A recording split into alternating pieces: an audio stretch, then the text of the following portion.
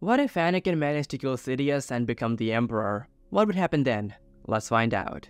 So in this new timeline, everything will be the same as it was in the original timeline until Obi-Wan takes the high ground and Anakin attempts to leap across Obi-Wan and kill his old master. And so, in this new timeline, Anakin will try to jump over Obi-Wan despite Obi-Wan's warning not to, and as he was in the air, Obi-Wan would strike Anakin, and as a result, Obi-Wan's blue saber would go through Anakin, but unlike in the original timeline, here, Obi-Wan would only manage to cut off Anakin's legs, leaving his one biological arm unharmed. Following this, Anakin would fall to the banks of the lava river they were fighting in moments ago. But here, since Anakin has both his arms, he'll be able to crawl further up the ground than he did in the original timeline, which would of course not get Anakin any closer to Obi-Wan, but would keep the Chosen One from burning. As for Obi-Wan, he would say the same thing to his former apprentice as he did in the original timeline, and just like in the original timeline, Obi-Wan would consider going down the high ground and ending Anakin. But then Obi-Wan would sense that the Emperor, Darth Sidious, was approaching, and that he had very little time to save Padme and leave Mustafar. Obi-Wan knew he couldn't beat Sidious, especially since at this moment, Obi-Wan believes that Yoda, the 900-year-old Grand Master of the Jedi Order, to have been killed by Sidious. And so, in the end, Obi-Wan takes Anakin's saber and leaves, because he didn't have time to do anything else. And as Obi-Wan left, Anakin would watch with glowing yellow eyes. Shortly thereafter, Obi-Wan would reach Polis Massa with an unconscious Padme, C-3PO, and R2-D2. And just like in the original timeline, here too, Padme would die, and her body would be transported to Naboo, where her funeral would be held. But as for Luke and Leia, things would take a different turn than they did in the original timeline, because here, since Obi-Wan and Yoda know that Anakin or Darth Vader still lives, instead of sending Leia to Alderaan and Luke to Tatooine, the two Jedi would decide to take them both to Dagobah to train them from as early as possible. Vader would become extremely powerful, and to defeat both Vader and his master Darth Sidious, the children of Skywalker would need to become the strongest possible versions of themselves, Yoda would reason. And so, Obi-Wan and Yoda would head on over to Dagobah with Luke and Leia. It wouldn't be just the four of them, of course. C-3PO, R2-D2, and many other droids would be there with them to help raise the two younglings. And on top of that, Bail Organa would always be there to help the two Jedi and their new hope with whatever they needed. And so, in this timeline, Luke and Leia would be trained from birth under the tutelage of Master Obi-Wan Kenobi and Master Yoda, so that one day they could destroy the Sith and the Empire. And now, let's get back to Anakin Skywalker. So no long after Obi-Wan left, Anakin would sense a dark presence very close to him. It was Darth Sidious. And soon after, Anakin felt his new master standing above him, at which point the Chosen One looked up and saw the disfigured face of Darth Sidious. Anakin then heard Sidious order the clones that were with him to bring a medical capsule. And following this, as Anakin watched, Sidious would walk down to Anakin and kneel beside him. And at this moment, Anakin would sense something resembling pity in Sidious, which Anakin hated. And so, just like in the original timeline, here too, Sidious would take his new apprentice, or what was left of him, to one of the best medical facilities in the galaxy, the Grand Republic Medical Facility on Coruscant.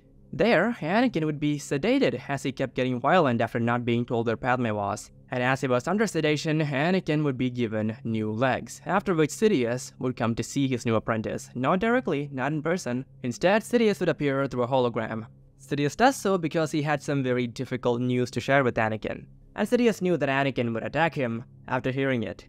And this news in question was of course the death of Padme Amidala by Anakin's own hands. Also, a side note, in the original timeline, as revealed by the comic Darth Vader Imperial Machine, suited Vader does immediately attack Sidious after being told that Padme died, but Sidious uses Force Lightning to deal with Vader. But in this alternate timeline, even though he lost his legs, Anakin, or Vader by this point, was much more powerful than suited Vader, so Sidious was wise to take caution, as it wouldn't have been so easy to deal with this Vader, who by the way I will be referring to as Anakin throughout this video just to make things easier. Anyways, back to the story. So, once Sidious began observing Anakin and his new legs, Sidious would order the medical droids to bring Anakin out of sedation. The droids would do so, and as soon as he came to, Anakin noticed the hologram of Sidious and would demand to know where Padme was. To which Sidious would say, like in the original timeline, that in his anger, Anakin killed Padme. Hearing this, Anakin would go into denial, and immediately he would be overcome with rage, at this point,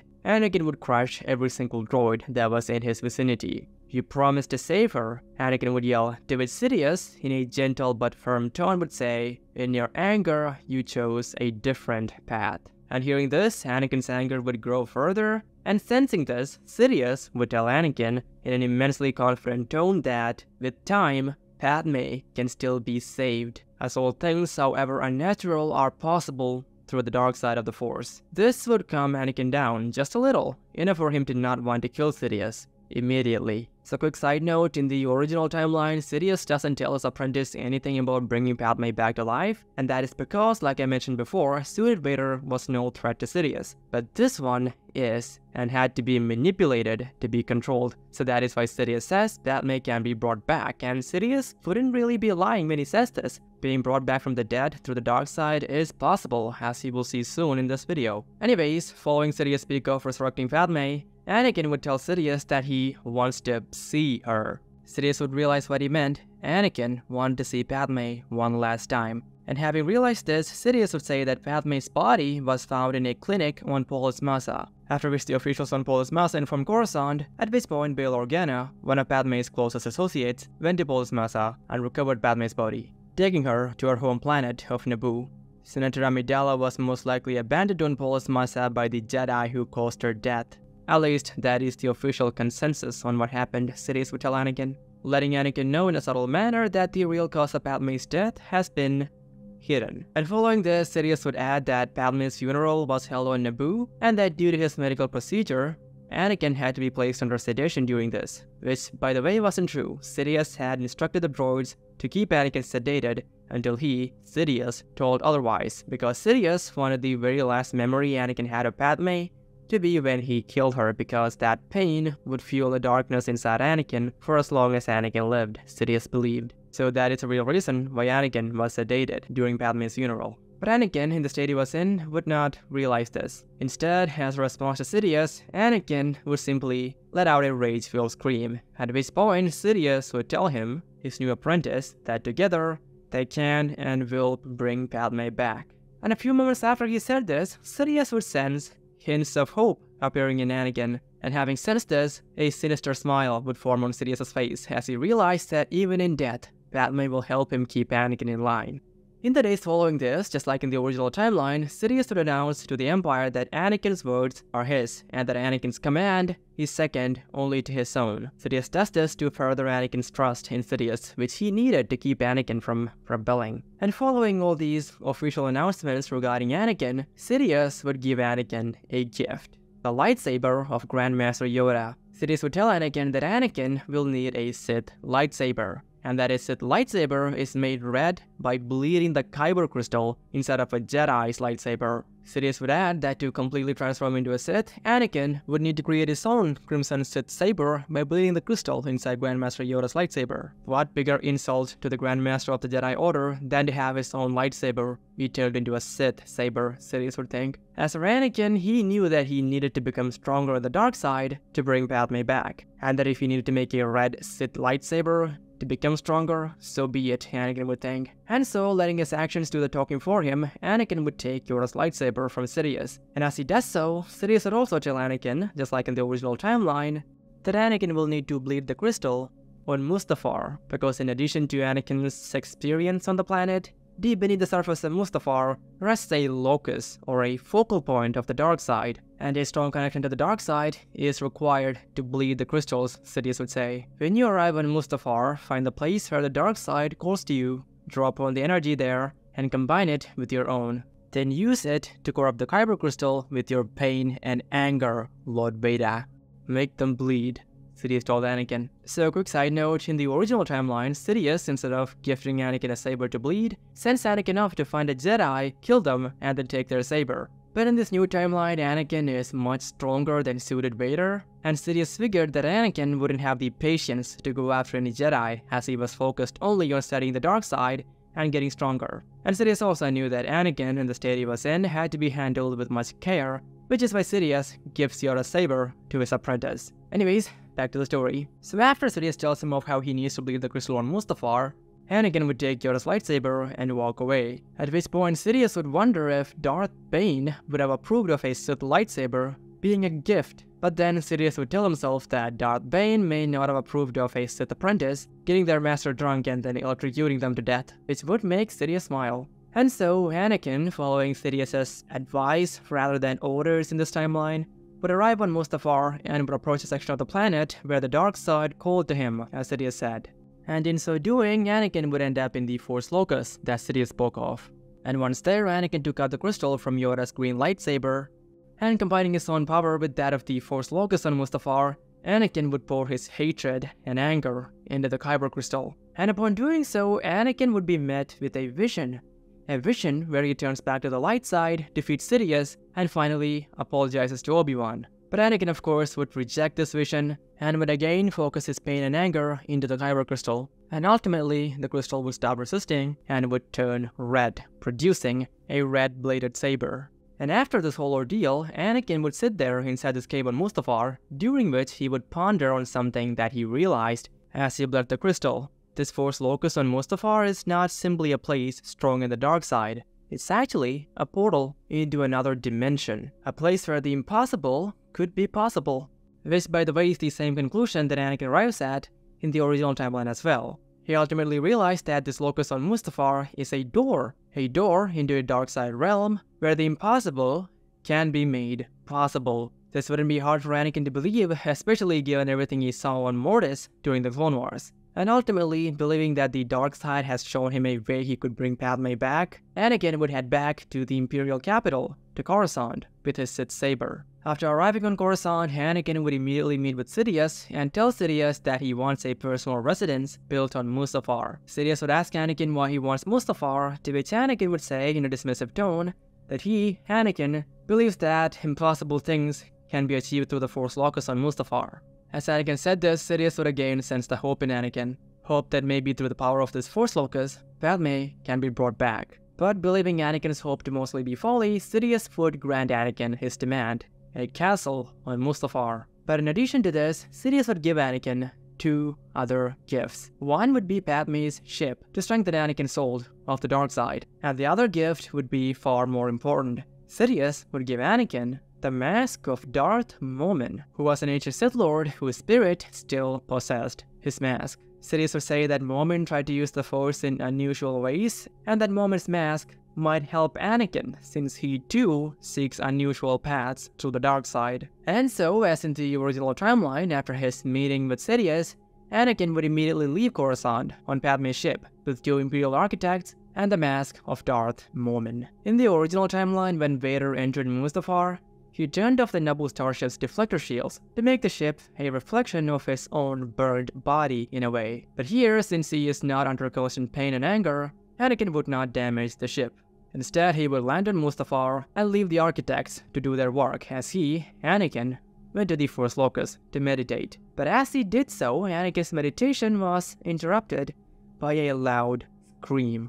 Anakin would rush out and quickly he would find the source of the scream. One of the architects that had arrived on Mustafar with him was lying dead from a blaster wound, and the other architect, as Anakin saw, was hard at work designing something while wearing the mask of Darth Momin. Anakin would then ignite his red lightsaber and point it at this entity at this point, the mask would give Anakin a vision in which Anakin would see who Momin was, an ancient Sith who sought to worship the dark side through his art. Anakin would see that Momin died as he tried to please the dark side with an art project for which Momin had created a powerful, force-powered machine that could annihilate a city. Momin flew this powerful weapon over a city, but the interesting aspect of this machine was that right as the people in the city that Momin was about to destroy with this machine would realize that they were about to die, Momin would use the force to slow time and freeze his victims in time as the expression of pure dread and impending doom took over their faces. This would be a creation worthy of the dark side, Momin thought. But as Anakin saw, Momin's plan was foiled by the Jedi, and he was killed. But Momin's mask survived, and was presumably taken to Coruscant, to the Jedi Temple. At this point, the vision would end, and like in the original timeline, Momin would ask Anakin what exactly Anakin wants from him. To which Anakin would ask about the design that Momin made, and in response, Momin would say that he knows what Anakin seeks, a way to open and pass into the Force Locus on Mustafar. Momin will continue and tell Anakin that the design Momin made is basically a key into this Force Locus. And having said this, Momin will also add that Anakin's beloved wife Padme awaits him on the other side. Of this door that Momin's key would open. Anakin would ultimately believe this, mostly because he wanted to believe this, and Momin, still possessing the body of the Imperial Architect, would begin work on building his key into the dark side, which was basically Vader's castle in the original timeline. And ultimately, after 8 redesigns, Momin will be successful in building a castle that can tune the energies of the Force Locus, enabling Anakin to open the door into the other side.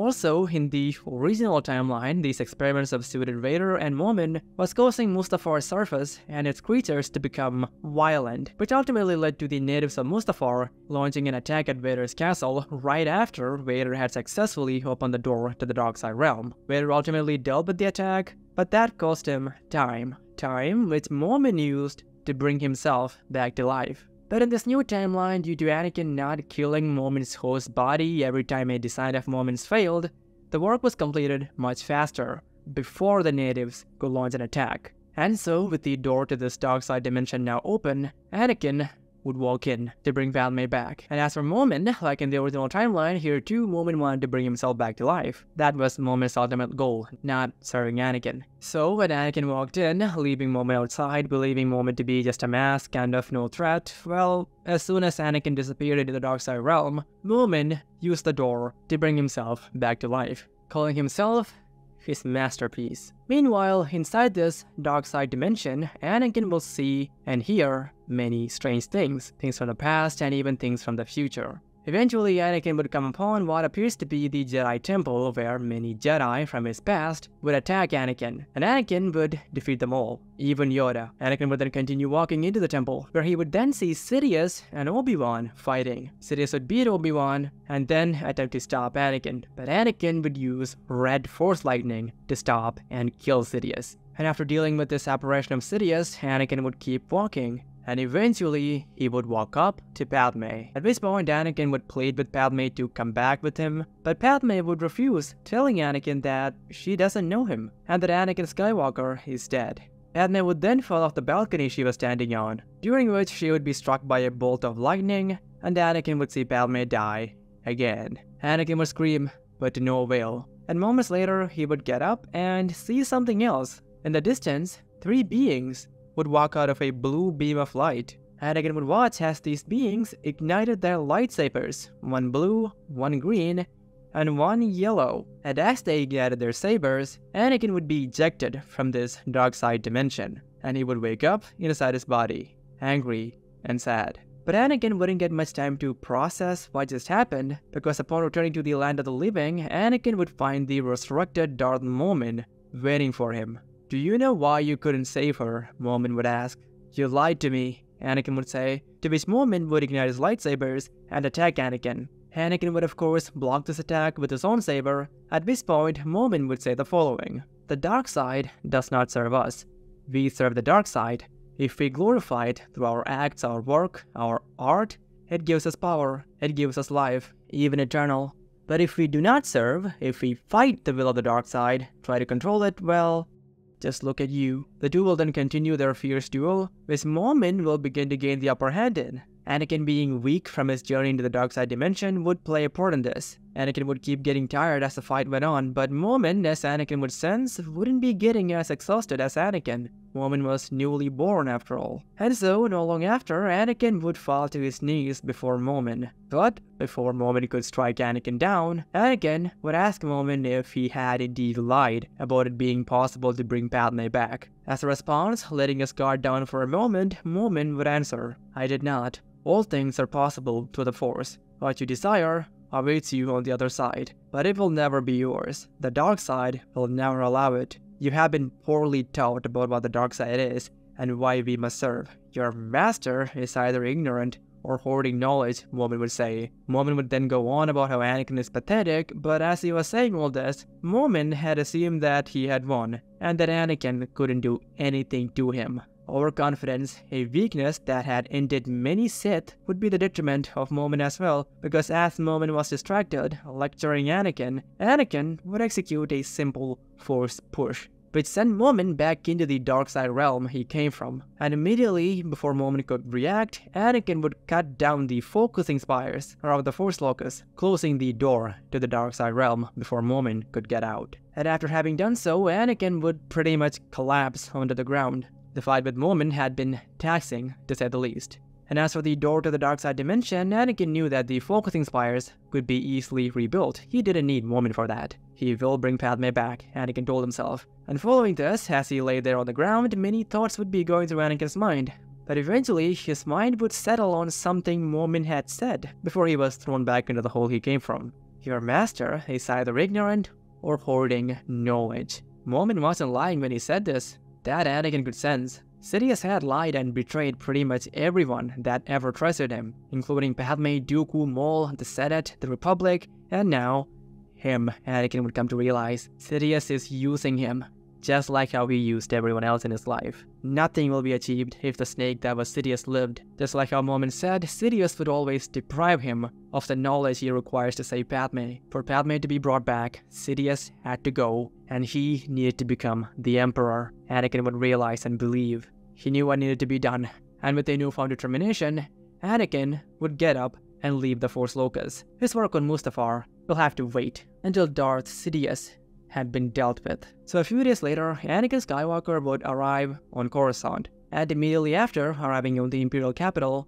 Anakin would make his way over to the personal residence of Emperor Palpatine, which by this point was the former Jedi Temple, which Palpatine had turned into an Imperial palace. Anakin, who at this point speaks with the Emperor's voice, would face no resistance as he walked in, and soon enough, Anakin found himself in the former Jedi High Council chamber, the same room where he slaughtered younglings not too long ago, the room which was now Palpatine's personal office. Can you still hear the sounds they made when you cut them down, Lord Vader? Sidious would ask Anakin, referring to the younglings. Receiving no response from Anakin, Sidious would turn around and direct his yellow set eyes at Anakin. Anakin would match Sidious's gaze with his own glowing yellow eyes. And then, without saying anything else, Anakin would ignite the Sith saber he had made with Master Yoda's Kyber crystal. So be it, Sidious would say after seeing Anakin do this. And having said so, Sidious would stand up and ignite his own Crimson Saber, and then lunge at Anakin, letting out a scream similar to when he faced Mace Windu and the other Masters when they came to arrest him not too long ago. Outside the former Jedi High Council chamber, Palpatine's Red Guards would hear lightsabers clashing. Fearing for the Emperor's safety, they would try to get in, but would find the doors immovable, as if something was holding them shut from the other end. Inside, Darth Sidious and Darth Vader would be locked in combat. We could have achieved so much together, you could have been the most powerful Sith ever. It's a pity that you chose weakness, Lord Vader. Sidious would say. Anakin wouldn't say anything in response, instead choosing to use all his strength to attack Sidious. And as the fight went on, Anakin would sense Sidious tiring out. As powerful as he was, Sidious was quite old, and the more tired Sidious got, the less he relied on his lightsaber, eventually fully relying on his strength in the Force to fight Anakin. And so in the end, Sidious would attack Anakin with Force Lightning, Sidious's most powerful ability. Anakin would initially be able to deflect most of Sidious's lightning, but soon it managed to reach his body. And as the lightning coursed through Anakin's body, Sidious felt Anakin's presence in the Force growing stronger much stronger, and moments later, sparks of red Force lightning started appearing on the fingertips of Anakin's left hand. To learn the ability of Sith Lightning, one has to be attacked with it first. Plagueis had taught Sidious that, and that is exactly what was happening here, although Sidious may not have been doing that intentionally. Anakin, as he was filled with anger and pain, was learning how to channel it in the form of Force Lightning. Specifically,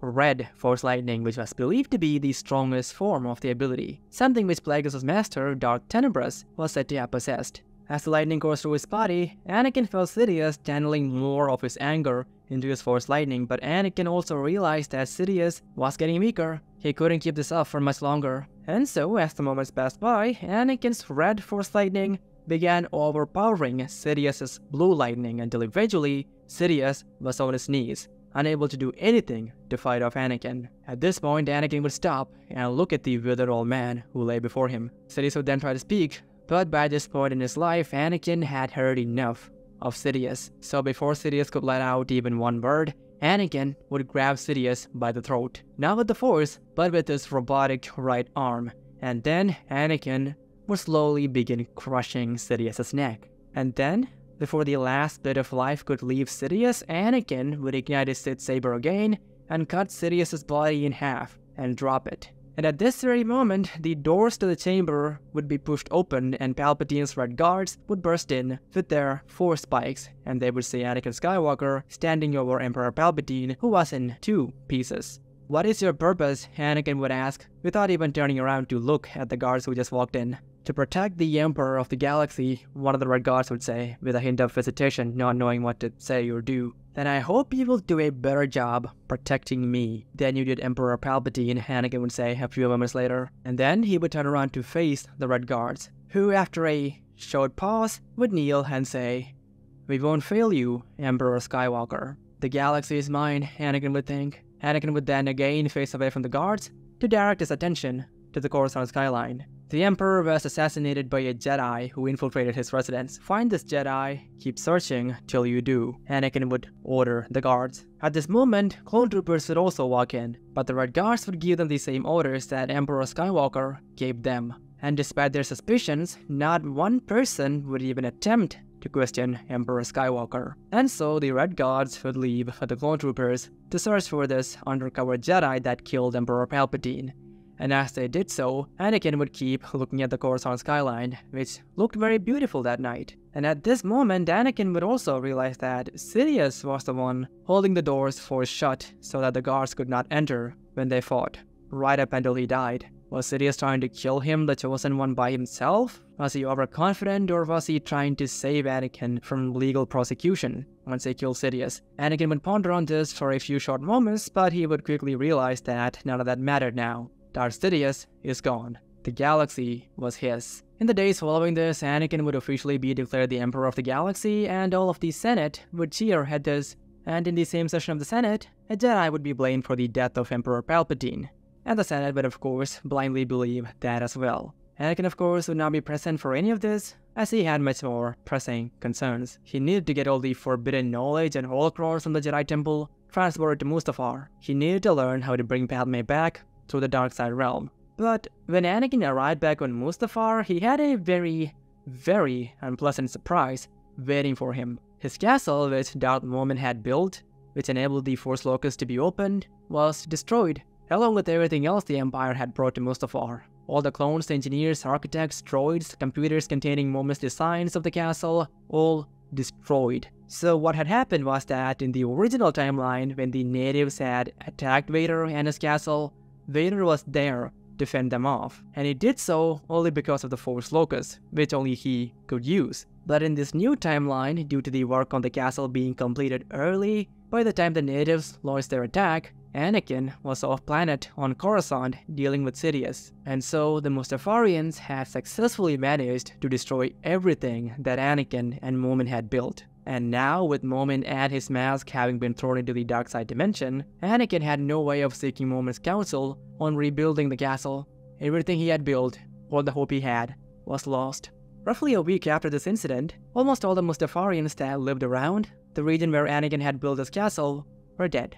So in the years following this, many things would happen. Anakin would spend almost all his time trying to rebuild the castle to have Momin built it, with very little success. Momin's secrets disappeared with him, and Anakin had very little to go off of, but he continued his pursuit, not giving up. And as for Anakin's new empire, the little time he spared from his efforts on Mustafar, Anakin directed towards the betterment of the empire. Despite everything he had done, like Padme said, there was good in Anakin, and many of Anakin's actions as Emperor would prove Padme right. Anakin would end slavery entirely in the galaxy. He would personally end the Hutt clan on Tatooine, and destroy every single slave owner on that planet. The Zygerrian slave empire would burn under Anakin's orders. He would completely eradicate corruption in the empire and the Senate, mostly by making some very strong examples of those who broke the law.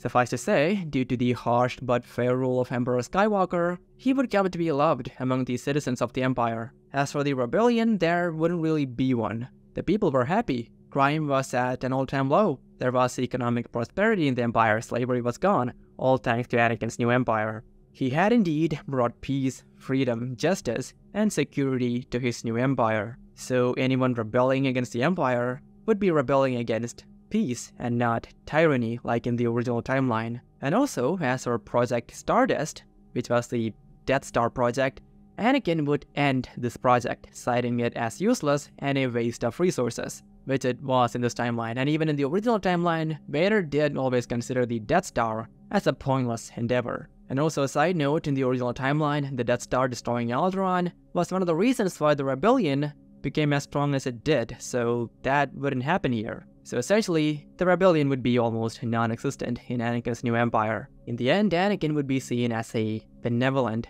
emperor. But as for Anakin himself, there would be no peace. In fact, after dealing with some immediate issues like slavery, Anakin would pretty much resign himself to his work on Mustafar, leaving a trusted group of individuals, the likes of Bail Organa and Mon Mothma, to run the Empire, basically. He trusted them because Padme trusted them. So essentially, the Empire would prosper more than the Republic ever did, with its citizens happier than ever. And also, something else that would happen under Anakin's rule that would have never happened under Sidious's rule would be the prosecution of the Jedi being ended. The reason for this was that Anakin, of course, knew that the Jedi were innocent and that Sidious was lying and manipulating everyone. So, essentially, after Anakin came to his senses after the events on Mustafar, he would order Order 66 to be halted. This would also mark the end of Sidious's Inquisitor program. Also, Bail Organa's suggestion to Anakin that incorporating the Jedi into the Imperial Army would greatly improve their ability to maintain peace would also play a small part in convincing Anakin to stop the Jedi Purge. And so eventually the surviving Jedi would be invited back to Coruscant to serve in the Imperial Army, and many Jedi would take up this offer. But many wouldn't. But even these Jedi, the ones that refused to join the Empire, would be allowed to live in peace in the Jedi Temple on Coruscant.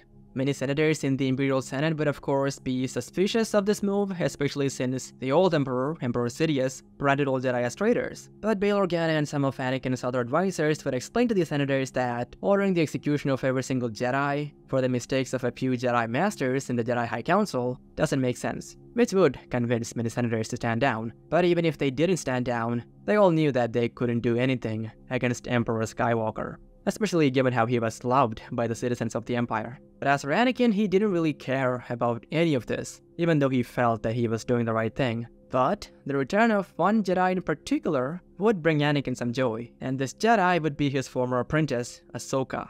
But when she returned, Ahsoka had some questions, as did Anakin. Anakin wanted to know why Ahsoka did not show up sooner, to which Ahsoka would say that she did not know what was happening with this new empire or with Anakin, as she, Ahsoka, had seen Anakin standing with the Emperor over the holonet. Hearing this, Anakin would see that it was now his turn to do some explaining. But he had to be careful. Anakin of course did not want to lose Ahsoka as well, on top of everyone else that he had lost. And with that in mind, Anakin would say that Chancellor Palpatine, or Darth Sidious, who Anakin had believed to be a friend since childhood, had poisoned his mind into being blinded by the dark side. And then, as Ahsoka listened intently, Anakin would say that Palpatine had everyone fooled and that he used the clone army against the Jedi, even manipulating him, Anakin, into being one of his pawns. How, Anakin? Ahsoka would ask in a concerned tone. He offered to save Padme from death. It was a lie, I should have known. But the dark side had blinded me, I couldn't see, I couldn't think, I was helpless, Ahsoka. He couldn't save Padme,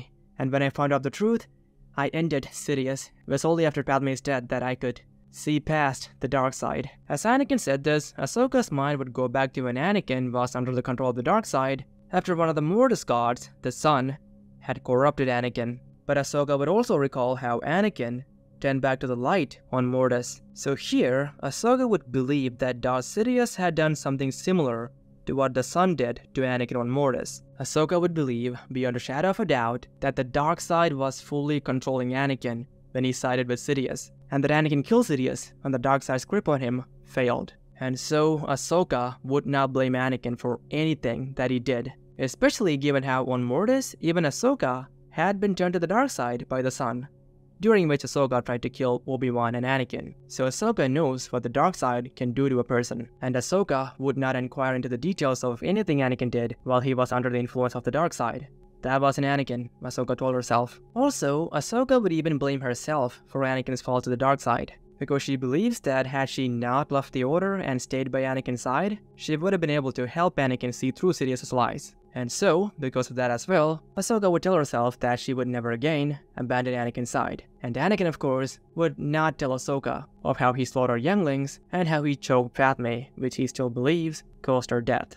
But Anakin would confess to Ahsoka that he still has some dark side tendencies and powers that he can use if he really needs to, and that he still has his red Sith lightsaber, which he keeps as a reminder of his mistakes. But Anakin would assure Ahsoka that he has everything under control, which truth or not, Ahsoka would believe. However, Anakin would not tell Ahsoka about the exact nature of his work on Mustafar, simply telling her that he couldn't stay on Coruscant after what happened to the temple. And also, after some further explaining by Anakin, Ahsoka would see why her master would want to maintain control of the galaxy because before the Empire, there was pretty much nothing but injustice and corruption in the galaxy, especially in the Outer Rim, It was not the case under Anakin's rule. So Ahsoka would ultimately join Anakin's empire, and eventually would become Anakin's second in command, military-wise anyways. Ahsoka would eventually be given the rank of Grand Moff, and direct control over the division of the Imperial military, which was led by the former Jedi that joined the Empire. And so, the years would pass by in this manner, with Anakin buried in research into the Force, Ahsoka leading the Imperial Army, and Anakin's trusted advisors leading the Imperial policy-making process. Nothing much would change about this for roughly 20 years. And now, let's get back to Luke and Leia on Dagobah. So over the years, Luke and Leia would grow up on Dagobah and would be trained in the ways of the Force by Yoda and Obi-Wan, who would tell young Luke and Leia everything about the Jedi, the Republic, and how the Sith destroyed the Jedi. But the two Jedi, seeing as how Luke and Leia needed to take out the Sith, their father, wouldn't tell the twins anything about their parents, instead telling them that they were rescued from the Jedi Temple on Coruscant before the Sith could kill them. Luke and Leia would grow up believing this, but Yoda and Obi-Wan, to make sure that the twins stay loyal to the Jedi even if they find out that Anakin was their father, would make the principle of detachment the core aspect of Luke and Leia's training. They should be able to strike Anakin down without flinching, even if they were to find out mere moments prior that Anakin was their father. That was one of the goals of Yoda and Obi-Wan concerning the training of the twins. Obi-Wan was a little unsure of this method of training, but Obi-Wan had always blamed himself, to some degree, on Anakin's fall to the dark side, and because of this guilt, he never opposed any of Yoda's training methods for Luke and Leia. And so, Luke and Leia would grow up to be perfect Jedi with a very clear goal that would be instilled in them from a very young age. Their goal was to destroy the Sith. Obi-Wan and Yoda would have been in touch with Bail Organa over the years, and through Bail, they would come to know of the death of Darth Sidious and the prosperous nature of the Empire under Anakin. But ultimately, if the Sith existed, the galaxy would never be safe, according to Yoda. Yoda would cite the example of Darth Vitiate to give grounds to his beliefs. Vitiate, or Valkorion, was a Sith emperor who tried to consume the entire life force of the galaxy to further his own goals. The Sith, by their very nature, are selfish, Yoda would often say. All they do is for themselves. In the case of Emperor Skywalker, for example, the reason he killed the slave owners had more to do with his own hatred for slavery due to his own upbringing, and less to do with the suffering of the slaves themselves, Yoda would say. If Skywalker was left to his own devices, he could end up doing something terrible. This is what Yoda believed, and Obi-Wan too, though Obi-Wan didn't want to believe it.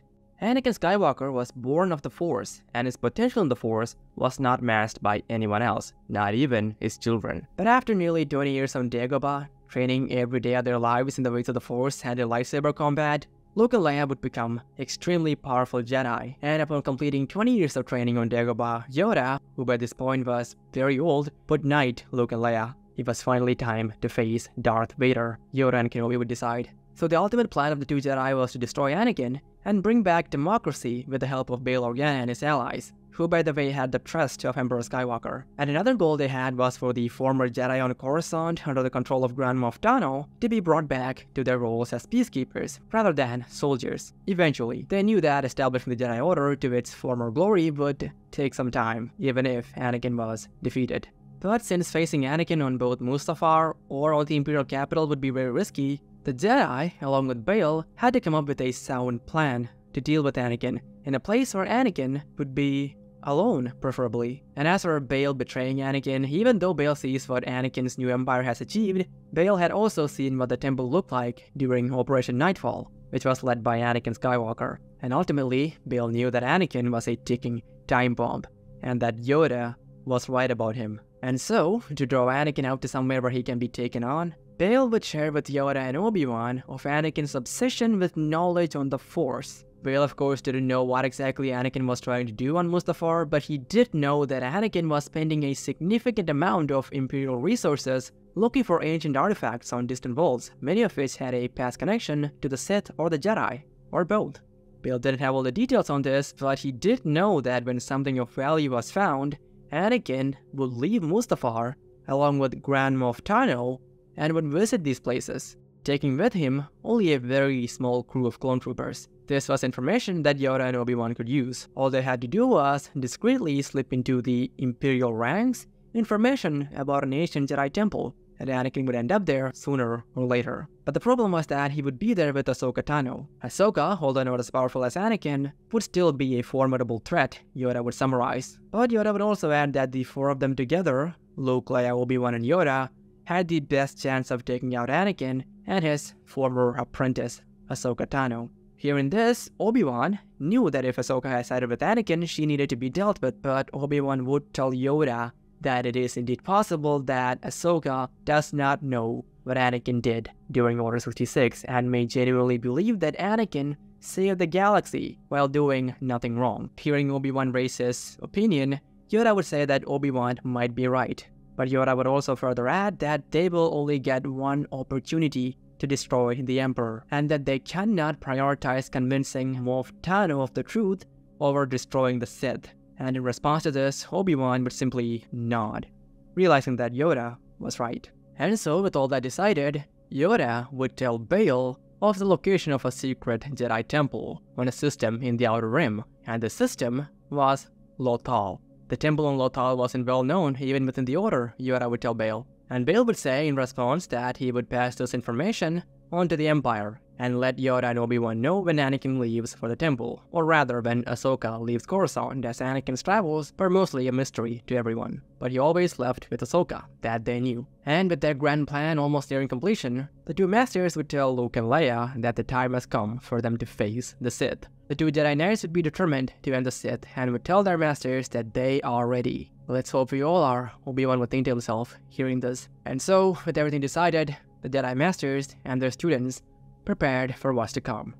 Days later, when Mustafar, the Emperor would be notified of an ancient Jedi temple being discovered in the Outer Rim. Eager to learn of the secrets that this temple held, the 42-year-old Emperor Skywalker, who has been ruling his empire in name only for roughly 20 years now, would leave Mustafar, which he rarely did. Over the past 20 years, Emperor Skywalker has been tirelessly trying to rebuild Momin's designs, with very little success. But still, he was persistent, and for that reason, rarely left Mustafar. But as was the case whenever he left Mustafar to inquire on any new discoveries on the Force, the Emperor took the company of his Grand Moff and former apprentice, Ahsoka Tano. Ahsoka had become Skywalker's apprentice when she was only 14 years old, during the Clone Wars, and at this point, the two had known each other for over 23 years. And so, along with Ahsoka, the Emperor would make his way over to Lothal, where this new temple had been discovered. After they arrived in Lothal, Imperial forces would direct Ahsoka and Anakin to the temple that was discovered. And shortly after arriving, Ahsoka and Anakin would be joined by the lead Imperial archaeologist of this project, who would tell the Emperor that while they know that the temple exists, mostly below the ground, they haven't been able to find a door. Anakin would then ask how they are sure it exists, to which the archaeologist would say that they scanned the area and discovered that there are large, hollow pockets of space beneath the surface, and that unusual activity was noticed from the temple roughly two days prior. Anakin would seek clarification on this unusual activity, to which the archaeologist would tell Anakin and Ahsoka that the temple appeared to have exhibited motion, and that they don't know what caused it. Hearing this, Ahsoka and Anakin would look at each other for a moment, and then they would both proceed towards where the temple is supposedly located, telling the elite archaeologist that they, Anakin and Ahsoka, will need to examine the place alone. The archaeologist would bow and walk away, leaving the Emperor and the Grand Moff to explore the place. And as they approached where the temple should be, as per the scans done by the archaeologist, both Ahsoka and Anakin would feel the presence of the temple through the Force, and as if by instinct, they knew how to access it. They needed the aid of the Force. Anakin would then raise his hand and call upon the Force to lift the temple above ground, and as a result, the temple would start moving, and moments later, an entrance to the temple would become visible following which Anakin and Ahsoka would walk in. Once inside the temple, however, they would sense a presence, or rather, multiple presences, some of which familiar. We're not alone, Ahsoka would say. Nothing we can't handle, Anakin would say, looking at Ahsoka. And having had this conversation, they would then make their way further into the temple. And as they did so, the presence that they both sensed got stronger. And so, they followed it, and eventually they both stood in a large hall where the presence was the strongest. And the moment Anakin realized who it is they were sensing, Anakin heard multiple lightsabers ignite and within less than a second, Anakin was attacked by Obi-Wan, Yoda, and two young humans, both wielding blue lightsabers. As for Ahsoka, before she could react, she was met with a very strong force push, most probably from Master Yoda, which sent Ahsoka flying across a large hall she and Anakin were in. But Ahsoka would immediately get back on her feet and would try to make her way back to Anakin, who at this point, as Ahsoka could see, was fighting off four force wielders. Ahsoka too would realize at this moment that two of them were Obi-Wan and Yoda, who she had presumed perished long ago, as Anakin never liked talking about them, especially his former master, Obi-Wan Kenobi. Ahsoka had many questions in her mind, seeing this, but she didn't have time to dwell on any of them. Instead, she directed all her focus towards getting back to Anakin. But seeing Ahsoka approach, one of the younger Jedi, the woman, leapt in front of Ahsoka with the air of the Force and began attacking her, leading Ahsoka away from Anakin, forcing the Emperor to fight three Jedi by himself. And so, within the ancient house of the Lothal Temple, the Emperor of the Galaxy Anakin Skywalker, fueled by the dark side, fought his old master Obi-Wan Kenobi, the Grand Master of the Fallen Jedi Order Yoda, who looked very old at this point, and a much younger Jedi who Anakin could sense wanted nothing more than to destroy the Sith. And so, as the fight began, Anakin, with his controlled fury, would wield his red lightsaber in a deadly dance of power and precision. His movements would be a blend of aggression and skill. He would meet his opponents with a relentless barrage of strikes, each one a thunderous clash against the green and blue sabers of the Jedi. Obi-Wan, embodying a calm, almost serene demeanor, counters Anakin's ferocity with his deeply practiced defensive techniques. His every move would be a masterclass in the art of lightsaber combat,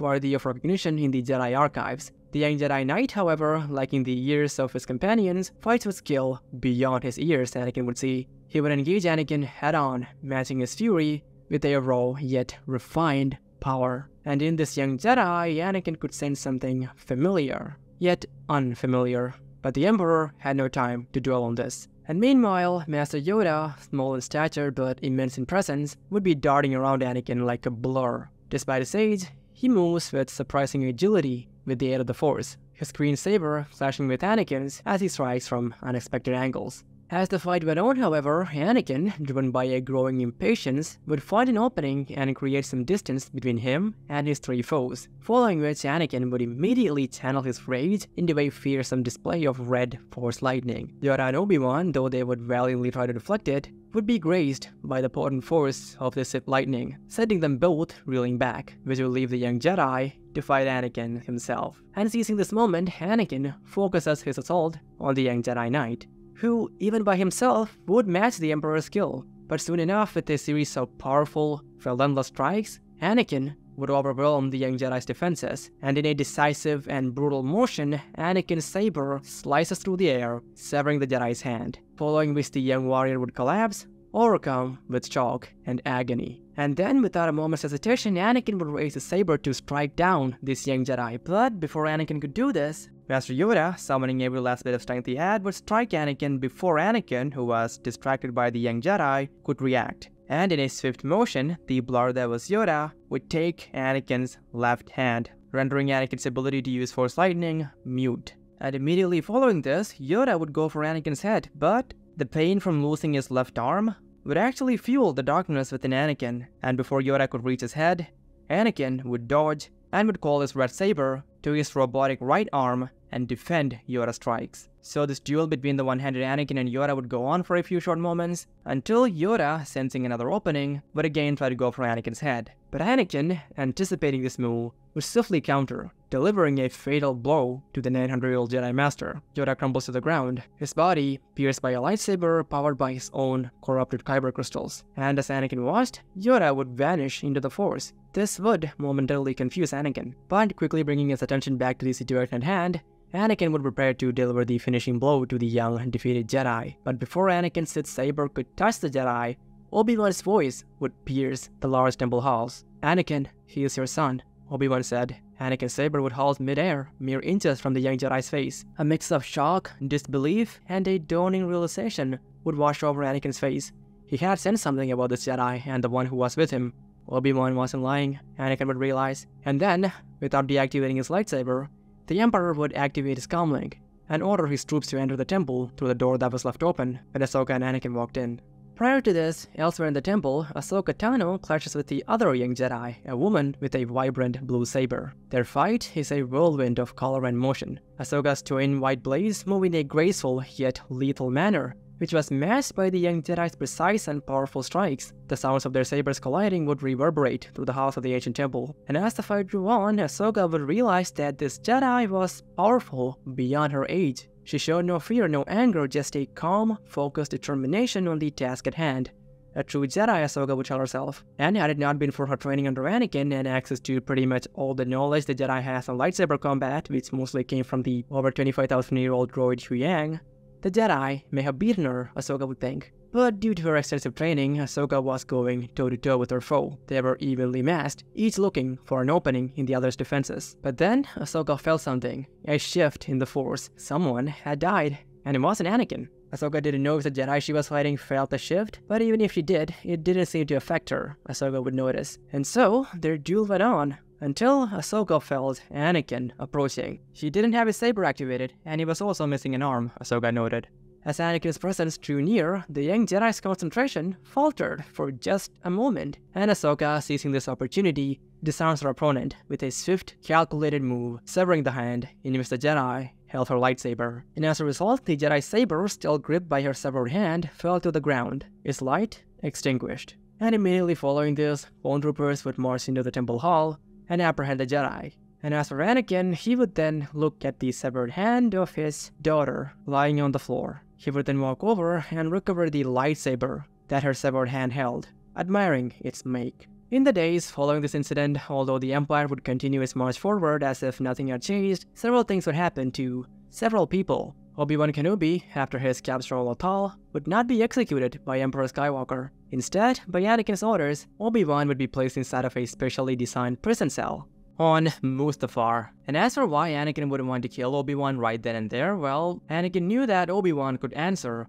a lot of the questions he had. And further, Emperor Skywalker would also realize that he could kill Obi-Wan whenever he wanted to, now that Obi-Wan is on a prison on Mustafar. So basically, Anakin wanted to know everything that Obi-Wan knew before killing Obi-Wan, and the Emperor figured that the best place to extract this information from Obi-Wan would be Mustafar. But another reason for keeping Obi-Wan on Mustafar was to stop Ahsoka from meeting with Obi-Wan, because Anakin, even at this point, doesn't want Ahsoka knowing what Obi-Wan knows about what Anakin did during Order 66. And so, after Obi-Wan was brought to his prison cell on Mustafar, Anakin would visit his old master and ask Obi-Wan if the twins are indeed his children. Yes, Anakin, they are. Luke and Leia.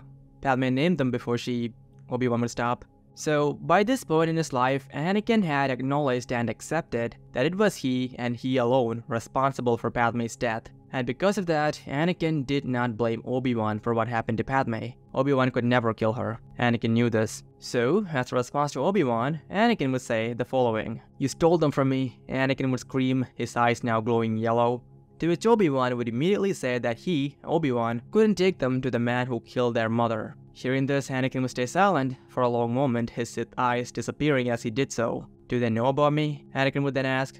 To which Obi-Wan would say that they don't, and that they only know him as a Sith who destroyed the Jedi and now rules the galaxy. Hearing this, Anakin would begin accusing Obi-Wan of lying and manipulating his children, to which Obi-Wan would stand up and ask, Again, Anakin, should I have told them of how their father murdered younglings and then their own mother? Hearing this would again anger Anakin, but without saying anything, he would leave the cell. Anakin, Obi-Wan would say in a pleading tone as Anakin left, don't hurt them, they only did what we told them to do. Hearing this, Anakin would stay where he was, silent. But then, a short moment later, he would proceed to walk away, leaving Obi-Wan to look on as Anakin disappeared into the dark. So not long after this, Anakin would leave Mustafar and head on over to Coruscant, which is where Luke and Leia were transported to. And so, after arriving on Coruscant, Anakin would confront his children, who at this moment were being kept inside of a cold, stark room deep within an Imperial prison on Coruscant, which is where the meeting between Anakin Skywalker and his children would unfold.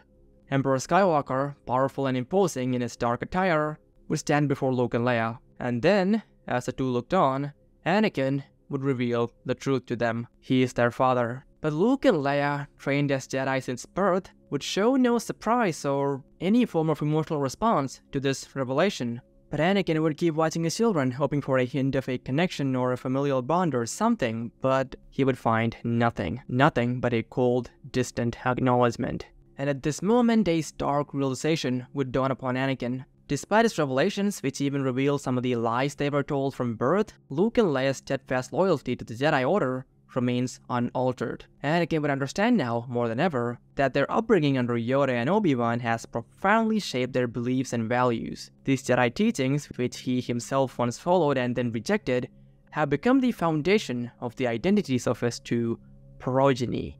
Anakin sees in Luke and Leia the embodiment of the Jedi principle of detachment. He recognizes that for Luke and Leia, their commitment to the Jedi way transcends mere lineage. It is a deep-seated conviction, a path they have chosen to walk, shaped by years of guidance and mentorship from Yoda and Obi-Wan. And in this moment, Anakin comes to a painful understanding. Luke and Leia's allegiance to the Jedi Order is not a product of their training. It is a choice that represents their beliefs and the life they know, a path fundamentally different from his own. Disheartened, Anakin will leave the interrogation room, understanding that the gap between him and his children, widened by years of Jedi indoctrination, might never be bridged. He is their father, but to them, he is just another part of the Empire they've sworn to defeat. And so, ultimately, the meeting between Anakin and his children ends with a silent, unspoken acknowledgement of this divide. But even still, despite this, Anakin didn't want his children dead, but he couldn't just allow them to leave either, so the Emperor found a different way to deal with them. So later, after meeting with his progeny, Anakin would meet with someone else, Bail Organa. Anakin had of course figured out by this point that Bail had a hand in the ambush that took place on Lothal. Only a handful of people knew of Anakin and Ahsoka's travels, Bail being one of them. And on top of that, it was Bail Organa who brought Padme's body to Naboo after claiming that she was abandoned on Polis Massa. So, given all this information, for the Chosen One to figure out that Bail Organa had a hand in everything would be pretty easy. And so, when he met with Senator Organa, Anakin fixed Bail with a piercing gaze. Senator Organa, he began, you've been a loyal servant to the Empire for almost two decades now, but even the most loyal can harbor secrets. Bail, though maintaining a composed exterior, felt a chill run down his spine. He knew the dangerous game he's been playing, hating the Jedi, and now he stood before the most powerful being in the galaxy. Anakin would then begin slowly circling Bail, his presence alone suffocating. You've been a guardian to certain individuals of interest, Anakin continued, his tone ominous. Luke and Leia, my progeny, Anakin would say, a veiled accusation that left no room for misunderstanding. Bail, however, remained silent, his mind racing. He had always known that this day might come, but the reality of facing Anakin's wrath was far more daunting than he had ever imagined. And despite Bail maintaining a calm exterior, Anakin would at this moment feel the fear emanating from his trusted advisor of 20 years. But after a long pause, however, Anakin would say the following. You will resign from your position on my council. His voice now a firm decree. Return to Alderaan, take the twins with you. They will live under your roof, under the watchful eyes of my Imperial Red Guards. Hearing this, Bail's heart would sink. This is not just a dismissal, it's a sentence to a gilded prison. But despite this realization, Bail would simply nod, understanding the gravity of his new role as essentially the warden to the children that he had once hoped would be the galaxy's salvation. And then Anakin would lean in closer, his voice dropping to a whisper that carries a chilling finality. If a word of this arrangement or of their true parentage reaches anyone, I will not only hold you responsible, Bail, but I will also ensure that Alderaan feels the consequences of your betrayal. The threat is clear, and the implications horrifying. Bail knew this. And as for why Anakin would let Bail live, well, reflecting on the two decades under Bail's effective governance, Anakin acknowledged the prosperity and stability Bail's leadership brought to the Empire. This realization by Anakin would weigh heavily against Bail's betrayal. And crucially, Anakin also remembers Padme's deep trust in Bail. This trust, coupled with his recognition that Bail's actions were shaped by the Jedi's influence and his beliefs in doing what he thought was right, tempers Anakin's response. And so, in honoring Padme's memory and acknowledging Bail's role in the Empire's success, Anakin chooses leniency, sparing Bail. And also, another aspect of Anakin's decision to spare Bail was that Anakin knew that Bail cared for Luke and Leia, and Anakin, even though he realizes that his children want him dead, wanted Luke to be placed under the care of someone who actually cared for them. so that's another reason why Anakin chooses to spare Bail. But in the end, after Obi-Wan was made prisoner and Luke and Leia were sent away, Anakin resumed his research on Mustafar. However, not long after the incident on Lothal and the aftermath of said incident, Grand Moff Tano would arrive on Mustafar to meet with the Emperor. Officially, her visit was related to a potential alliance with the Chiss Ascendancy, but there was more that weighed on her mind. Ahsoka knew that Anakin was withholding details about the recent attack on his life, and she sought answers. After discussing the strategic implications of an alliance with the Chiss, Ahsoka turned the conversation towards the recent confrontation. Why did Master Yoda and Obi-Wan do that? Did they not see the prosperity of the Empire? Did they not realize that the downfall of the Jedi was caused by Darth Sidious and not you? This is what Ahsoka would ask Anakin, her tone a mixture of confusion and concern. Anakin, gazing out the fiery landscape of Mustafar, pondered his response. He knew he had to tread carefully, ensuring Ahsoka's continued loyalty while keeping the true identity of the twins concealed. Yoda and Obi-Wan were blinded by their allegiance to a flawed Jedi philosophy, Anakin began, his voice firm.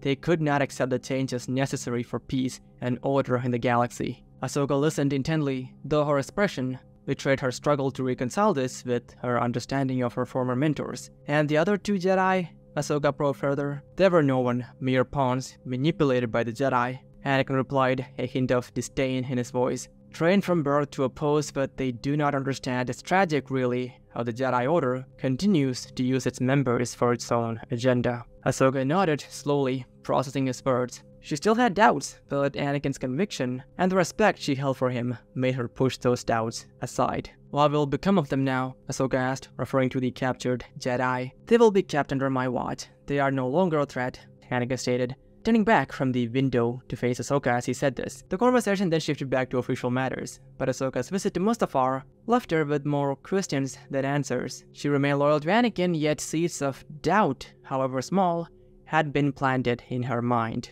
Anakin was keeping something from her. This thought would have now entered her mind. But Ahsoka did not confront Anakin with any of these thoughts, and eventually, Ahsoka got up to leave. And as Ahsoka was almost out the door, Anakin, for some reason, impulsively called out her name. Ahsoka. She paused, looked back at him, with questioning eyes. For a fleeting moment, Anakin wrestled with the idea of unburdening all his secrets to Ahsoka. But realizing that Ahsoka was really the only real family he had left, Anakin reconsidered, not wanting to risk damaging his connection with her. And after a short moment of reflection, he looked at her and simply said, It's nothing. Ahsoka then gave a nod, slightly puzzled but respectful, and left. Filling the room Anakin stood in with silence. And Anakin stood in the silence, watching through the window as Ahsoka's ship left the fiery landscape of Mustafar. And once she was out of sight, Anakin brought his mind back into focus. There was work to be done. He had to recover Momin's knowledge and bring Padme back. And so, with a renewed sense of purpose, the Emperor returned to his work. So from this point on, the story could go several different ways. Anakin might become successful in rebuilding Momin's designs, or he might never be successful and instead would decide to, like Darth Vitiate, consume the life force of the entire galaxy to gain enough power to bring Padme back. At which point Ahsoka might finally leave Anakin, and with the help of Luke and Leia, would go up against Anakin. She might also lose her white lightsabers during this process, because of which Ahsoka would end up using a yellow lightsaber, which could be what Anakin saw in that dark side dimension. But like I said, that is just one possibility. What do you think would happen? Anyways, before you leave, if you have the time, do check out my Patreon for $1 or more a month for early access to videos and exclusive content which wouldn't appear on the main channel for months. Link should be in the description. Anyways, that's it. Have an awesome rest of the day or night and goodbye. I will see you in the next video.